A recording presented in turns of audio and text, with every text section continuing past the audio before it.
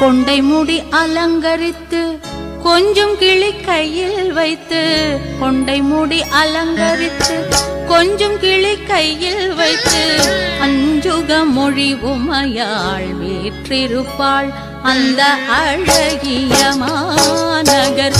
மதுரையிலே மதுரையிலே மதுரையிலே மதுரை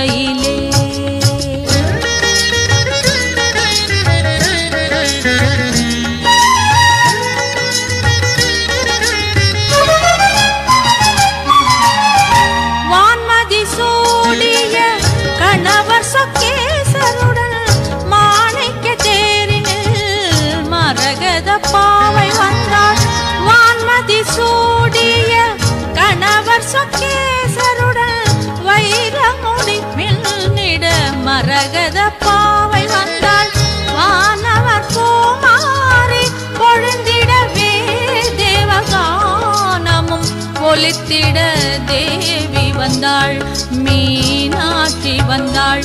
அந்த அழை